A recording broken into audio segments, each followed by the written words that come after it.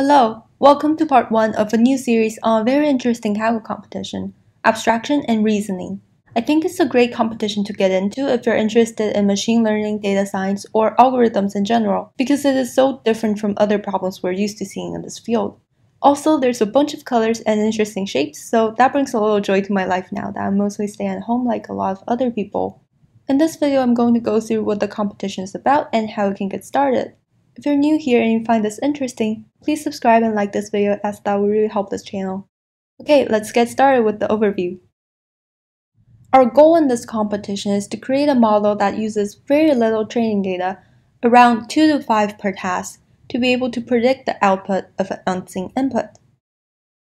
Each task can be solved with abstract reasoning, which is kind of like those IQ tests where we are given only a few patterns and are asked to fill an unseen input with the same reasoning.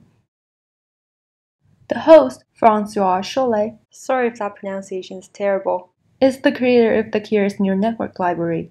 And his motivation in hosting this is to get us thinking about ways to develop more human-like intelligence.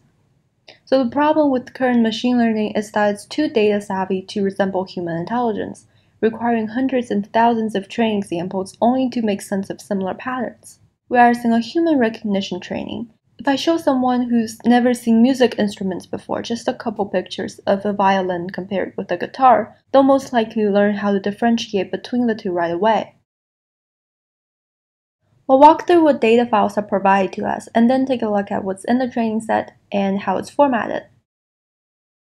We're given three folders, training, evaluation, and test, as well as the sample submission.csv.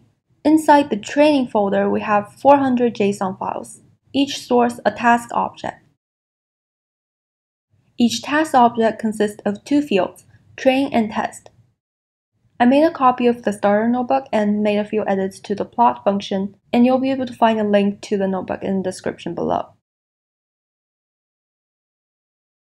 This task variable is just one example from one of the JSON files. Both train and test are made up of a list of what's described as a pair, where a pair is a dictionary with two keys input, which stores the input grid for the pair, and output, which stores the output grid. A grid is defined as a rectangular matrix or a list of lists of integers between 0 and 9 inclusively. The smallest grid can be 1 by 1 and the largest grid can be 30 by 30. Each of these integers represents a color, so these input and output matrices can be plotted for us to see the transformations. So as you see, this is the visual representation of the task pairs above. We have two pairs in the train field and one pair in the test field. The evaluation folder is made up of 400 different tasks from the 400 tasks in the training folder. They're in the exact same formats and are just provided for us to evaluate our algorithm once we have trained one with the task in the training folder. Now the task objects in the training and evaluation folders are both going to provide us with the output value for the pair in the test field. This is the ground truth value that we'll be able to compare with to get a score for our algorithm without making a submission to the leaderboard. The metrics in the competition is that we're allowed to make three predictions per task. If one of them matches the actual value exactly, then the loss is zero for this task. And otherwise, if none of the three predictions is an exact match, the loss for this task is 1. Then the leaderboard score is calculated by the average loss of 100 unseen tasks. One caveat that definitely got me confused at first was this test folder. The task folder consists of 100 tasks in the same format as tasks in the training and validation folders, with both train and test fields except we'll not be given the output values in the test field because this is what we're trying to predict. And at first I was like, well, we're still given the train field and the test input, and these tasks are not that hard for humans to solve, so why can't we just solve it ourselves and hardcode the output values in? Then I did some digging and found that this test folder is actually just a dummy folder that's provided just to help us build our end-to-end -end prediction pipeline.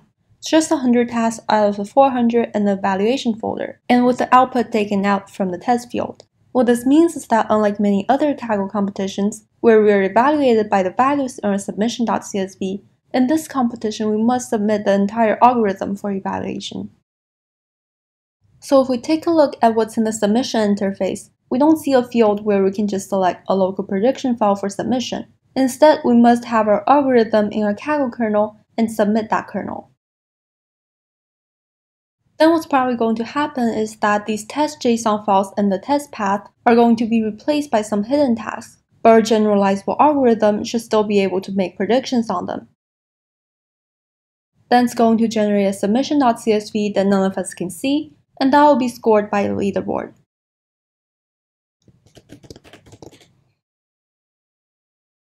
To get things started, we'll want to use the starter code notebook the host provided, which provides a skeletal end-to-end -end prediction pipeline.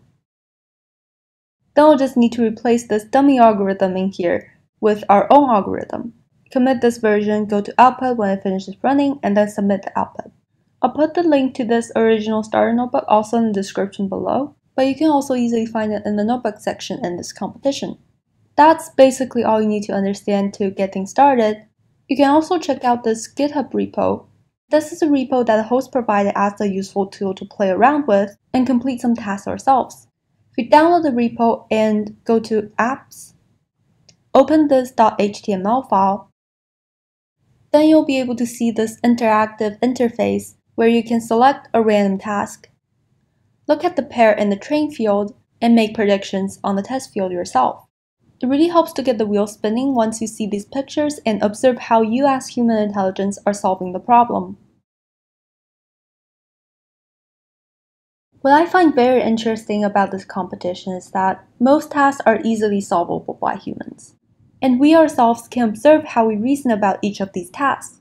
So even though computers are doing a pretty terrible job at this, we know for sure that this problem is solvable but we just need to figure out the gap between the computer's reasoning power and our reasoning power. If we're successful in doing this, the implication would be way better performing machines on tasks humans can easily do. For example, automated cars, image recognition, text-to-speech, and a lot more exciting stuff. Okay, that is it for this video. Hope you find that interesting. Please stay safe and hope you can find something that you enjoy. See you next time.